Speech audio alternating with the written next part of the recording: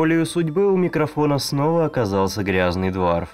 Шесть месяцев прошло с последнего обзора, и поговаривают, что за такой срок можно изменить очень многое в своей жизни. Но если вы помните мой голос, то можно сказать, что даже несмотря на то, что за время нашей с вами разлуки вы могли кардинально изменить свою жизнь, кое-что в ней все же осталось неизменным. В том случае, если вы слышите мой голос впервые, добро пожаловать. Я всегда рад новым зрителям. Тех же, кому я совершенно не нравлюсь, я бы все равно хотел поблагодарить. Как минимум за то, что вы накинули мне просмотр. Честно говоря, в моей жизни за эти полгода тоже многое изменилось. И особого стремления делать обзоры у меня не было вплоть до текущего момента.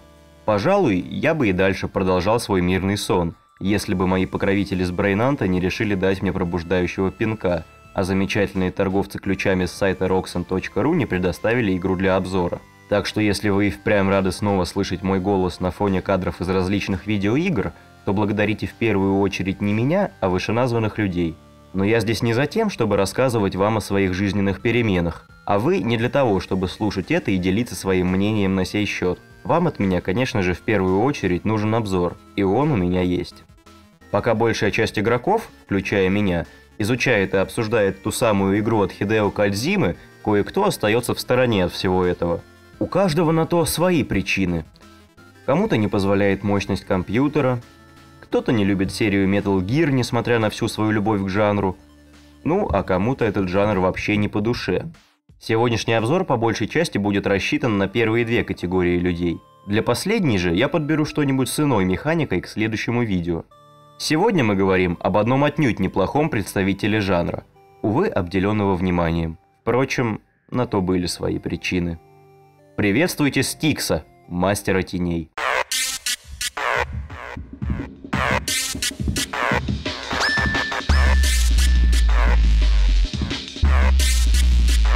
Первым делом стоит сказать, что Styx – это не та игра, которая делалась именитой компанией за огромные деньги. И это оправдывает часть минусов игры, которые поначалу могут казаться очень весомыми, хотя потом они становятся малозаметными.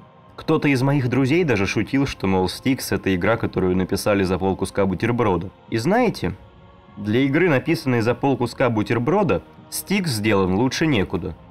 Так вот, о самой игре – вы же помните о вышедшей пару лет назад РПГ под названием Of Orcs and Men? Там, где мы наблюдали за похождениями здорового орка и его приятеля Гоблина. Ну вот. Главный герой нашей сегодняшней игры – это и есть тот самый Гоблин, а игра про него является приквелом к вышеуказанной РПГ. К слову, стоит отметить, что вне компании орка, как мне показалось, Стикс чувствует себя в разы комфортнее. Игра начинается предельно просто. Вот есть башня Акинаш, и в ней находится последний гвоздь, на котором держится союз эльфов и людей – мировое древо. Смола этого древа дает употребившему ее необычные и не всегда позитивные способности, да и к тому же вызывает сильную зависимость. Жизнь в Акинаше идет своим чередом. Люди иногда спорят с эльфами, но войны всячески стараются избегать. Даже несмотря на то, что обе стороны ненавидят друг друга сильнее, чем Ницше ненавидел людей. И все бы, пожалуй, так и продолжалось вплоть до скончания времен – но на игральной доске вдруг появляется очень неприятная, но в то же время невероятно значимая фигура. Гоблин по имени Стикс. Он живет уже более 200 лет, но не помнит своего происхождения, и оно, разумеется, его весьма сильно интересует. Стикс считает, что если он похитит сердце древа, то сможет узнать о себе больше, и его абсолютно не волнует то, как его действия могут отразиться на взаимоотношениях людей и эльфов, да и на общем положении дел в мире – более того, он, как и подобает представителю расы враждебной человеческой, а стоит отметить, что в мире этого проекта люди находят все остальные расы неполноценными и желают им скорейшей смерти, испытывает сильнейшую неприязнь к здешним übermenschам. Сам подход к сюжету у разработчиков вполне себе обычный. Повествование здесь ведется не только во время игрового процесса, когда мы выполняем те или иные задания, чтобы достичь строго определенной цели, но также и во время кат-сцен – которые мы видим между уровнями. Вводит в замешательство то, что кат-сцены и игровой процесс будто бы происходят в разном времени. Во время кат-сцен мы видим допрос Стикса, где он ведет себя, как и подобает зеленомордому. Злобно шутит, дает своим собеседникам едкие советы и пытается сжечь их своим взглядом. Ну, а во время геймплея Стикс вполне себе на свободе. А, я бы с огромным удовольствием рассказал вам о том, что же это все-таки значило – но боюсь подпортить вам впечатление от игры, так что давайте немножечко поговорим о геймплее. Styx Master of Shadows – это, как вы уже могли догадаться, стелс-экшен с видом от третьего лица в фэнтезийном сеттинге, где игроку выпадает роль зеленого, мерзкого и компактного гоблина. Во время разработки авторы вдохновлялись в основном Thief, что очень и очень похвально. Так уж вышло, что Thief – это игра близкая к эталону стелс-жанра, даже несмотря на то, что вышла она около 17 лет назад. И если среди зрителей вдруг окажется тот, кто имел честь близко познакомиться с этим проектом, то вряд ли он забыл внимание девелопера к деталям, а также общую сложность проекта. Стикс в этом плане оказался очень прилежным учеником.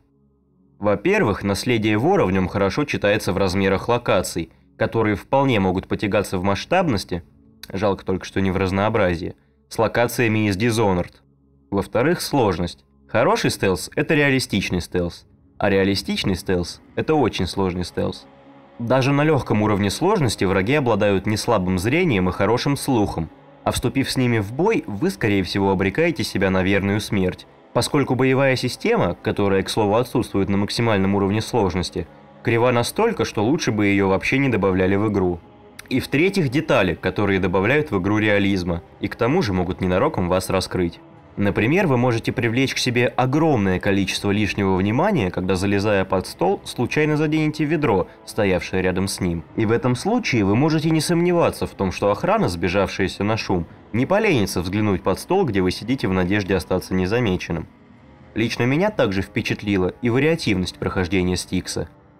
К примеру, если в том же горячо любимом мной Dishonored, который тоже является наследником идей Thief, кстати, у нас было совсем немного путей до цели – ну, там один по крышам, один по подвалам, один по крысиным лазам и еще парочка напрямик, то в Styx Master of Shadows нас ждет несколько путей по крышам, несколько по канавам и еще с десяток по земле, и это мне очень нравится. Честно говоря, я давно не видел таких вариативных стелсов. Плюс в проекте есть еще один занятный элемент. В нем порой встречаются весьма хитроумные ловушки и замысловатые пазлы, но хотя прохождение самой игры, а особенно для того, кто только знакомится со стелс-экшенами, это уже сама по себе непростая головоломка, и разработчики дают нам несколько инструментов, без которых ее решить попросту невозможно. И, пожалуй, самый интересный из них – это клоны. Стикс, как вы, скорее всего, догадались, может создавать себе подобных. Они могут пролезть там, где этого не может сделать протагонист, это раз.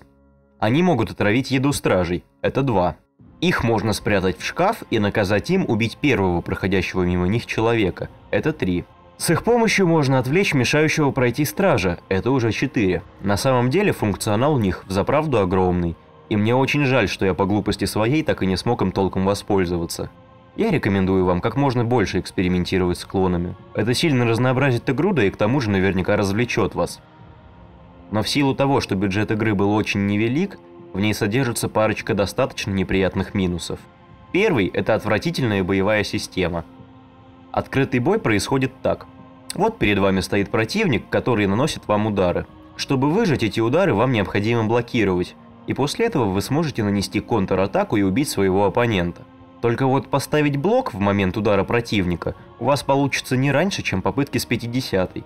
Поэтому я настоятельно рекомендую вам проходить игру сразу на максимальной сложности – это сделает ее в разы интереснее, и к тому же избавит вас от дурацкой необходимости сражаться с врагами в равном бою. Второй минус – это непривычная акробатика.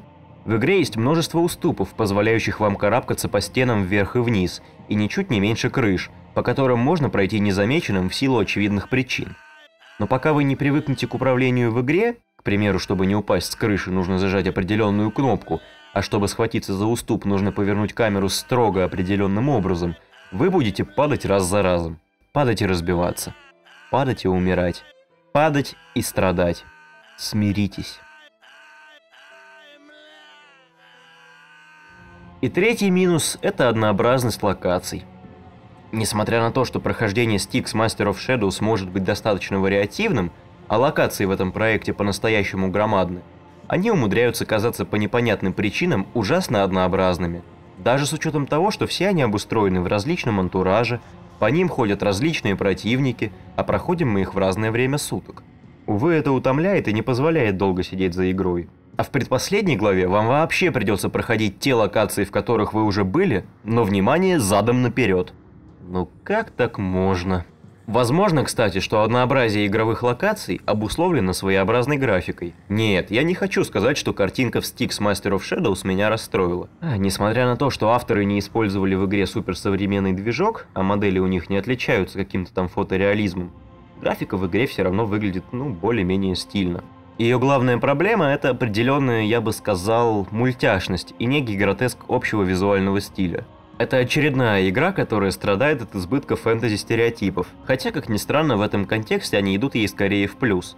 Хоть и не могу я долго смотреть на все эти огромные наплечники, блестящие белокаменные замки и прочие черты клишированного фэнтези, разработчики смогли оформить все таким образом, что подобные виды не вызывали у меня чувства тошноты уже спустя 20 минут от двойного клика по иконке с логотипом игры. Более того, мне очень понравился дизайн существ. Начиная от харизматичной внешности Стикса, где присущие гоблину черты характера выдают кривой нос, острый подбородок, лукавые глаза и заостренные большие уши, и заканчивая эльфами, которые совсем не похожи на тех, что были у Толкина, Сапковского или еще у кого-нибудь. Здешние эльфы скорее похожи на тех, что были в Хеллбое. Озлобленные, полные снобизма, с очень острыми чертами лица и напоминающими пораженных какой-то неведомой болезнью. И это невероятно здорово. Приятно видеть, что даже в таком, на первый взгляд, невзрачном сеттинге автор смог найти неизбитые и интересные идеи, и к тому же достойно воплотить их в жизнь. Боюсь, что об этой игре мне более нечего сказать. А значит, пришла пора подводить итоги. Как я уже сказал до этого, Styx Master of Shadows, несмотря на то, что ее писали за полкуска бутерброда, оказалась более чем достойной. Не лишенная весомых минусов, это детище игростроя является достойным наследником идей Thief с интригующим сюжетом и приятной внешней оболочкой.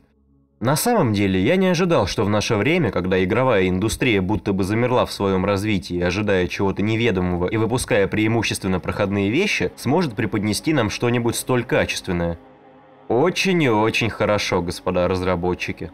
Ваш проект вполне заслуживает права стоять на одной полке с Thief и Dishonored. ну как-то так. С вами был Дварф, что грязен и снова в строю. И я не знаю, когда следующий обзор или же контент иного содержания, поэтому вам лучше подписаться, чтобы ничего не пропустить. До встречи, господа.